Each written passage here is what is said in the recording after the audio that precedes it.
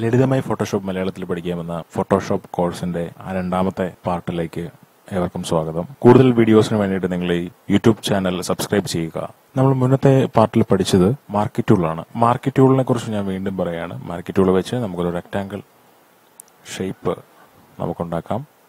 Rectangle shape ഉണ്ടാക്കിയതിന് ശേഷം നമുക്കൊരു പുതിയ ലെയർ ഇവിടെ ആഡ് ചെയ്യാവുന്നതാണ്. അതിനുശേഷം നമുക്കിതിൽ കളർ ഫിൽ ചെയ്യാം. എഡിറ്റിൽ പോയി ഫിൽ എന്ന് പറഞ്ഞ ഓപ്ഷൻ എടുക്കുക.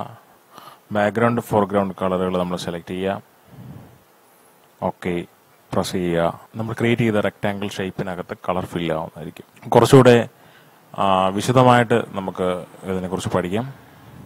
ഇവിടെ ബാക്ക്ഗ്രൗണ്ട് കളറും ഫോർഗ്രൗണ്ട് ഫോർഗ്രൗണ്ട് കളറും എന്ന് പറഞ്ഞിട്ട് രണ്ട് ഓപ്ഷൻ ഉണ്ട് ഇവിടെ. ഈ ഫോർഗ്രൗണ്ട് കളർ നമ്മൾ ഓപ്പൺ ചെയ്യുമ്പോൾ അതിനകത്ത് കളർ പിക്കർ എന്ന് പറഞ്ഞിട്ടൊരു ഒരു വിൻഡോ ഓപ്പൺ ആയിട്ട് വരും. അതിനകത്ത് നമുക്ക് ഇഷ്ടമുള്ള കളർ നമുക്ക് ഇവിടെ ചൂസ് ചെയ്ത് കൊടുക്കാവുന്നതാണ്. ഞാനിപ്പോൾ ബ്ലൂ സെലക്ട് ചെയ്തു. ഇതിപ്പോൾ ബാക്ക്ഗ്രൗണ്ട് കളർ ഞാനൊന്നുകൂടെ ചേഞ്ച് ചെയ്യുകയാണ് ബ്ലാക്ക് ഇട്ടു. ഫോർഗ്രൗണ്ട് കളർ ബ്ലൂ ഇട്ടു.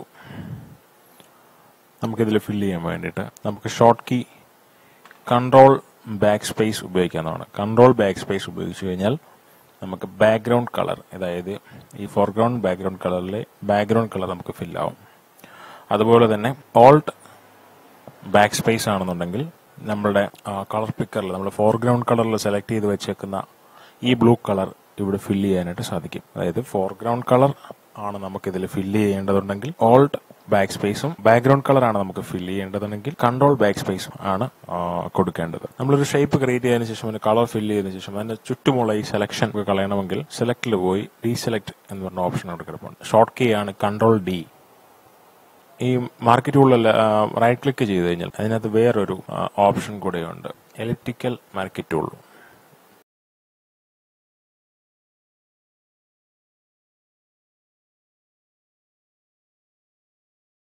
ആയിട്ടുള്ളൊരു ഒരു വൃത്തം സെലക്ട് ആവാൻ വേണ്ടിയിട്ട് നമുക്ക് ഷിഫ്റ്റ് പ്രസ് ചെയ്തുകൊണ്ട് ഇത് ഡ്രാഗ് ചെയ്ത് കഴിഞ്ഞാൽ മൗസ് ഡ്രാഗ് ചെയ്ത് കഴിഞ്ഞാൽ ഷേപ്പ് ചേഞ്ച് ആവാതെ കറക്റ്റ് ഷേപ്പിലുള്ള ഒരു വൃത്തം നമുക്ക് ലഭിക്കുന്നതാണ്.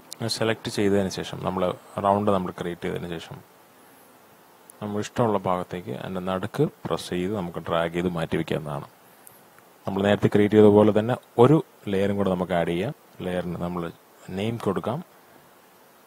അതിനുശേഷം നമുക്ക് ഇതിലൊരു റെഡ് കളർ നമ്മുടെ ഇഷ്ടമുള്ള കളർ റെഡ് കളർ നമുക്ക് എടുത്തതിന് ശേഷം ഓൾഡ് ബാക്ക് സ്പേസ് കൊടുത്ത് നമുക്കിത് കളർ ഫില്ല് ചെയ്യാവുന്നതാണ്. അതിനുശേഷം ഈ ചുറ്റുമുള്ള സെലക്ഷൻ കളയാൻ വേണ്ടിയിട്ട് കൺട്രോൾ ഡി സെലക്ട് ചെയ്ത് ഇതിന്റെ ചുറ്റുമുള്ള സെലക്ഷൻ നമുക്ക് മാറ്റാവുന്നതാണ്. നമുക്ക് ഇത് ലെയർ സെലക്ട് ചെയ്ത് കഴിഞ്ഞാൽ രണ്ട് എന്ന് പറയുന്ന ലെയർ നമ്മൾ സെലക്ട് ചെയ്ത് കഴിഞ്ഞാൽ നമുക്കിത് ഈ റൗണ്ട് നമുക്ക് ഏത് രീതിയിൽ വേണമെങ്കിൽ നമുക്ക് മൂവ് ചെയ്ത് വയ്ക്കാവുന്നതാണ് അതുപോലെ തന്നെ താഴെയുള്ള ലെയർ നമ്മൾ സെലക്ട് ചെയ്ത് കഴിഞ്ഞാൽ നമ്മുടെ ഇഷ്ടാനുസരണം ഈ സെലക്ഷൻ ടൂൾ വെച്ച് നമുക്ക് അങ്ങോട്ടും ഇങ്ങോട്ടും ചേഞ്ച് ചെയ്ത് വെക്കാവുന്നതാണ്.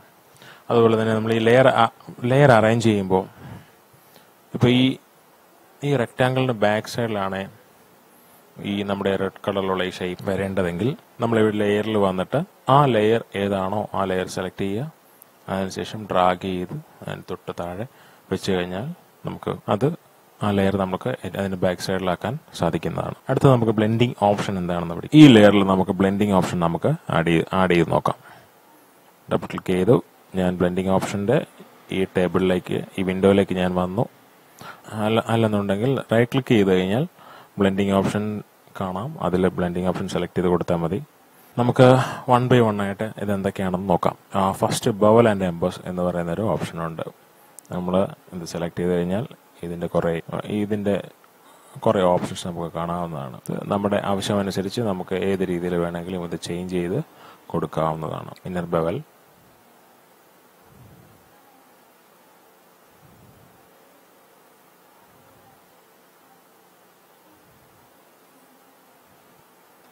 അതുപോലെ തന്നെ സ്ട്രോക്ക് എന്ന് പറയുന്ന ഓപ്ഷൻ നമ്മൾ ഈ ഷേപ്പിന് ചുറ്റും ഒരു സ്ട്രോക്ക് നമുക്ക് കൊടുക്കണമെന്നുണ്ടെങ്കിൽ സ്ട്രോക്ക് ടിക്ക് ചെയ്യാം. അതിനുശേഷം നമുക്ക് ഇഷ്ടമുള്ള കളറ് നമ്മൾ പിക്ക് ചെയ്യുക. അതിനിവിടെ ഓപ്ഷൻ ഉണ്ട് കളർ പിക്ക് ചെയ്യാൻ ഓപ്ഷൻ ഉണ്ട്. അതിന്റെ സൈസ് ഇവിടെ അഡ്ജസ്റ്റ് ചെയ്യാവുന്നതാണ്.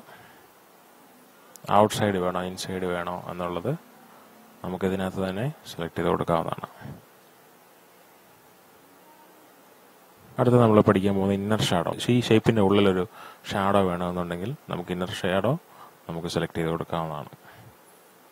അതിന്റെ ഈ വ്യത്യസ്തമായിട്ടുള്ള ഈ ഓപ്ഷൻസ് നമ്മൾ ചേഞ്ച് ചെയ്ത് കഴിഞ്ഞാൽ നമ്മുടെ ഇഷ്ടാനുസരണം നമുക്ക് ചെയ്യാവുന്നതാണ്. അതുപോലെ നെക്സ്റ്റ് ഇന്നർ ഗ്ലോ. ആ ഇന്നർ ഗ്ലോ നമ്മൾ പഠിക്കുമ്പോൾ ഇന്നർ ഗ്ലോയ്ക്കും ഇതിനകത്ത് കുറേ ഓപ്ഷൻസ് ഉണ്ട്. നമ്മളിതെല്ലാം ചേഞ്ച് ചെയ്ത് നോക്കിക്കഴിഞ്ഞാൽ ഇതെല്ലാം ചേഞ്ച് ചെയ്ത് നോക്കാം ഇതെല്ലാം നമ്മൾ ഈ അളവുകളൊക്കെ നമുക്ക് ചേഞ്ച് ചെയ്ത് നോക്കിക്കഴിഞ്ഞാൽ നമ്മുടെ ആവശ്യാനുസരണം ഇത് വർക്ക് ചെയ്യാവുന്നതാണ്. അതുപോലെ തന്നെ കളർ ഓവർലേ എന്ന് പറഞ്ഞ ഓപ്ഷൻ ഉണ്ട്. നമ്മുടെ ലെയറിൽ വേറെ ഏതെങ്കിലും കളർ ഓവർലേ ചെയ്യണമെന്നുണ്ടെങ്കിൽ കളർ ഓവർലേ ചെയ്യാവുന്നതാണ്. അതുപോലെ തന്നെ ഗ്രേഡിയന്റ് ഓവർലേ ഇതിൽ ഡിഫോൾട്ടായിട്ട് കുറേ ഗ്രേഡിയന്റുകളുണ്ട് ഇതൊക്കെ ട്രൈ ചെയ്ത് നോക്കാം. പാറ്റേൺ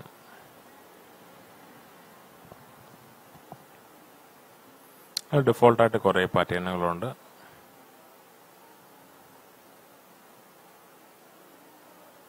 ഗ്ലോ ഉണ്ട്. അതുപോലെ തന്നെ ഡ്രോപ്പ് ഷാഡോ ഉണ്ട്.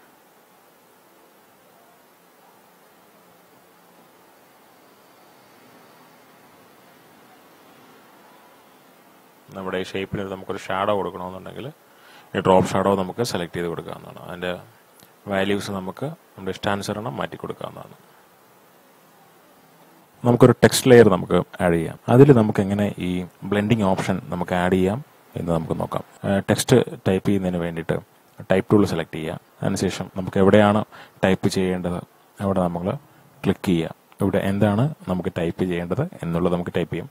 അതിന് മുന്നോട്ടായിട്ട് ഇവിടെ നമുക്ക് ടൈപ്പ് ചെയ്യേണ്ട കളർ ഇവിടെ കൊടുത്തിട്ടുണ്ട്. ഇവിടെ നമ്മൾ വൈറ്റ് ആണ് കിടക്കുന്നത്. ഈ കളർ നമ്മൾ ചേഞ്ച് ചെയ്യുക. അപ്പോൾ റെഡ് ആക്കി. ആക്കിയതിന് ശേഷം നമുക്കിവിടെ ടൈപ്പ് ചെയ്യാവുന്നതാണ്.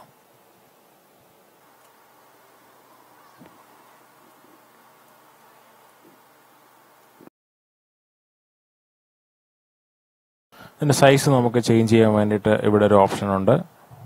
ഈ ഓപ്ഷനിൽ നമുക്ക് ഇഷ്ടമുള്ള സൈസ് നമുക്ക് സെലക്ട് ചെയ്ത് കൊടുക്കാം. ഞാനൊരു നൂറ്റി അൻപത് എന്ന് കൊടുത്തു കഴിഞ്ഞാൽ ഇത് കുറച്ചുകൂടെ വലുതാവുന്നത് കാണാം നമുക്ക് ഇവിടെ താഴോട്ട് താഴോട്ട് നമുക്ക് ഓരോ ചെറിയ സൈസുകൾ നമുക്ക് കാണാവുന്നതാണ്. നമ്മുടെ ഇഷ്ടമനുസരിച്ച് ഈ കള നമ്മുടെ ഇത് ചേഞ്ച് ചെയ്ത് കൊടുക്കുക. അതിന് മണ്ടയിൽ ഈ ടൈ ടി എന്ന് എഴുതിയിരിക്കുന്നതിന് മുകളിൽ നമ്മൾ നമ്മുടെ മൗസ് കൊണ്ട് വെച്ച് കഴിഞ്ഞാൽ ഒരു ചെറിയൊരു ഹാൻഡിന്റെ ഓപ്ഷൻ ഒരു ആരോ ആരോ മാർക്ക് കൂടെ കാണാം. അത് നമ്മൾ പ്രസ് ചെയ്ത് ഡ്രാഗ് ചെയ്യുകയാണെന്നുണ്ടെങ്കിൽ നമ്മുടെ ഇവിടെ അതിന്റെ വാല്യൂ നമുക്ക് ചേഞ്ച് ആവുന്നത് കാണാം. ഓക്കെ അതിനുശേഷം സെലക്ഷൻ കൊടുക്കുക നമുക്ക് ഇഷ്ടമുള്ള ഭാഗത്തേക്ക് ഇതിനെ നീക്കിക്കൊണ്ട് വയ്ക്കുക അതിനുശേഷം ഇതിൽ നമുക്ക് ബ്ലെൻഡിങ് മോഡ് നമുക്ക് ആഡ് ചെയ്യാം. ബ്ലെൻഡിങ് ഓപ്ഷൻ നമുക്ക് ഇതിൽ ആഡ് ചെയ്യാം. ക്ലിക്ക് ചെയ്യാം ബ്ലെൻഡിങ് ഓപ്ഷൻസ് എടുക്കുക. ബെവൽ ആൻഡ് എംബസ് കൊടുക്കുക. ഇനിയർ ബവൽ ഞാൻ കൊടുത്തു. അപ്പോൾ കുറച്ചുകൂടെ ഡെപ്ത് പോലെ നമുക്കത് ഫീൽ ചെയ്യുന്നതാണ്. അതിന്റെ വാല്യൂസൊക്കെ നമുക്ക് അഡ്ജസ്റ്റ് ചെയ്യാവുന്നതാണ്. അതുപോലെ തന്നെ ഞാനിതിനൊരു സ്ട്രോക്ക് ആഡ് ചെയ്യുന്നു. ഒരു യെല്ലോ കളർ സ്ട്രോക്ക് ഞാൻ ആഡ് ചെയ്തു. അതിന്റെ സൈസ് ഞാൻ കുറച്ച് ചെറുതാക്കി. അതിനുശേഷം എനിക്കൊരു ഡ്രോപ്പ് ഷാഡോ ഇതിന് വേണം. ഞാൻ ഡ്രോപ്പ് ഷാഡോ ഇതിൽ ടിക്ക് ചെയ്ത് കൊടുത്തു. അതിന്റെ വാല്യൂ എനിക്ക് ചേഞ്ച് ചെയ്യണം.